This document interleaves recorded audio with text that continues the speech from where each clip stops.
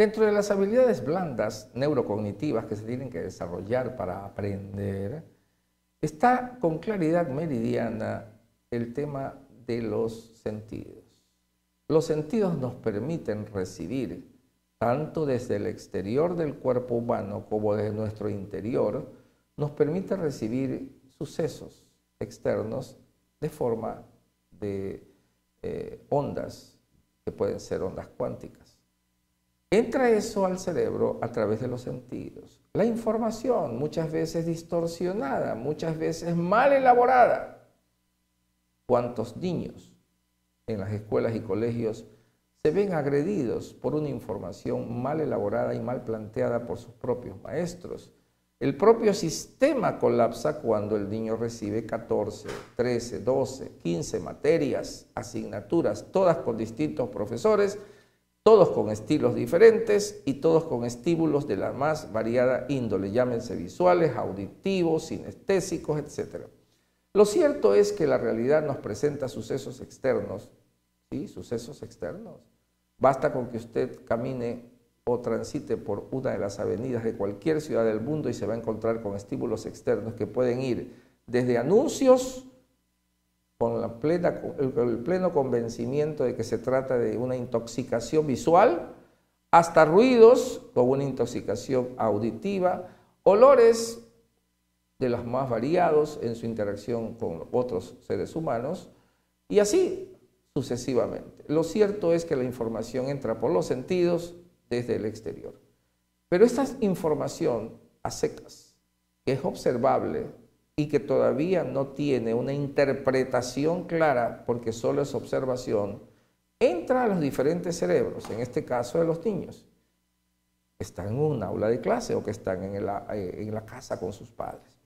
Y debemos tomar en cuenta que estos niños y estos jóvenes, como todo ser humano, tienen un sistema de creencias y de valores previamente establecido. No es cierto que los valores han desaparecido de la faz del planeta, tal vez se han trastocado Tal vez se valore otras cosas menos que, antes, pero de hecho están ahí, son sistemas de creencias y son representaciones mentales que marcan el cerebro de un ser humano. Pero además está toda la cultura, definida por Shane como todo ese sistema de patrones que han sido aprendidos durante la vida para defendernos de los, de los aspectos externos e internos de la convivencia humana y que se les sigue enseñando a los niños y niñas como la forma correcta de hacer las cosas.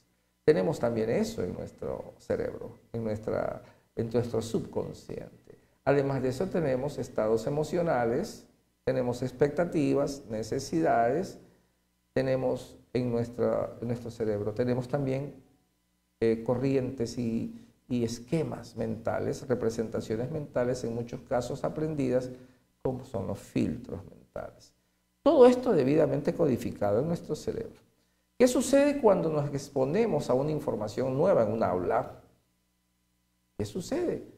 Sucede que el cerebro se conmociona y comienza a tratar de eh, montar en una estructura, en la estructura, el nuevo conocimiento, diría David Ausubel. Esto apareja lo que llamamos interpretación de la realidad. Es decir, recibimos el, recibimos el estímulo desde afuera, y el, nuestro cerebro, con todos sus valores, sus sistemas de creencias, su cultura, la parte emocional, intenta codificar, poner en orden esta información que recibe y eso se llama interpretación de la realidad. Por tanto, una enseñanza que un maestro otorga a su estudiante en un aula puede ser interpretado de distintas formas por los 30 o 35 niños que tienen el aula. Todo dependerá de todo lo que hemos hablado, es decir, de la cultura, del sistema de creencias, de valores, etc.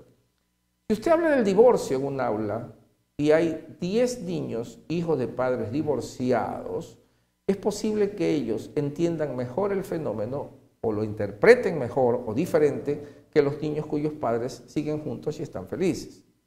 Si usted va a hablar del aborto en un aula, puede ser que tenga dentro de sus propios estudiantes jóvenes que ya han practicado uno. Y entonces la interpretación que se da puede ser dolorosa, puede ser de rechazo, puede ser de afirmación, independientemente de lo que usted cause en esa interpretación. Porque al final lo que vamos a encontrar es una respuesta verbal o no verbal al estímulo. No intente que todos sus alumnos sean iguales.